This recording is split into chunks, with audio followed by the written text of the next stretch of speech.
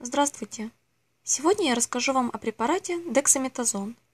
Дексаметазон выпускается в виде раствора для инъекций в ампулах. В ампуле 1 мл, где содержится 4 мг дексаметазона. В упаковке 5, 10, 15, 20 или 25 ампул. Действующим веществом является дексаметазон натриефосфат. Препарат содержит синтетический гормон глюкокортикостероид – который оказывает выраженное противовоспалительное, противошоковое, иммунодепрессивное, противоаллергическое и антитоксическое действие. Применяется при состояниях, требующих введения быстродействующего глюкокортикостероида.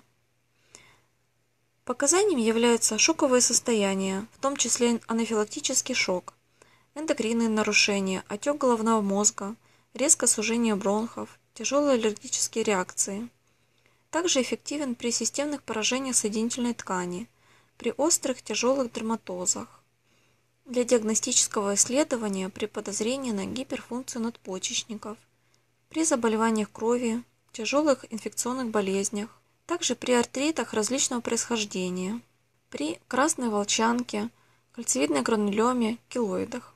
Дексаметазон вводят внутривенно струйно, медленно или капельно и внутримышечно. Устанавливают дозу индивидуально. В течение суток можно вводить от 4 до 20 мг 3-4 раза.